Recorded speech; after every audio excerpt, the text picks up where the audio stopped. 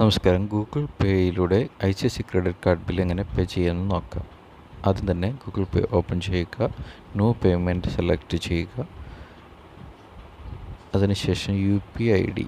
U P I D open ചെയ്തതിന് ശേഷം C C pay dot നിങ്ങളുടെ ക്രെഡിറ്റ് കാർഡ് നമ്പർ പതിനാറൊക്കെ ക്രെഡിറ്റ് കാർഡ് നമ്പർ എന്റർ ചെയ്യുക.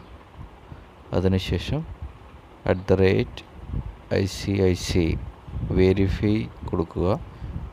Verify കൊടുത്തിട്ട് ഓക്കെ കൊടുക്കുക യു പി ഐ ഡി എന്നിട്ട് ഇതിന് ശേഷം ഒരു ചെറിയ എമൗണ്ട് ഒരു നൂറ് രൂപയിലും ചെയ്ത് നോക്കുക.